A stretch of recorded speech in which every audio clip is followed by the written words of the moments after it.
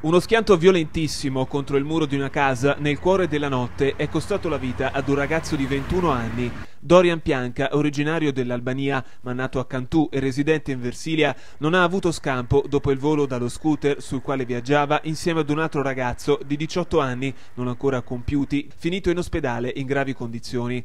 L'incidente è avvenuto intorno alle 2 in via del Padule a Pietrasanta, in zona Pollino, non lontano dall'inceneritore. I due, in sella al motorino, per cause ancora da accertare, hanno perso il controllo del mezzo a due ruote e sono andati a sbattere violentemente contro il muro dell'abitazione picchiando contro le inferriate della finestra. È stato un automobilista di passaggio a notare i due corpi a terra e a dare l'allarme. Sul posto l'automedica del 118, le ambulanze della Croce Bianca di Querceta e della Misericordia di Capezzano Pianore. Per i rilievi il commissariato di polizia di Forte dei Marmi e la stradale di Viareggio. Il ventunenne è morto una volta arrivato al Versilia L'amico diciottenne, residente a Pietrasanta, è in prognosi riservata, ha riportato varie fratture alle gambe, ma non è in pericolo di vita.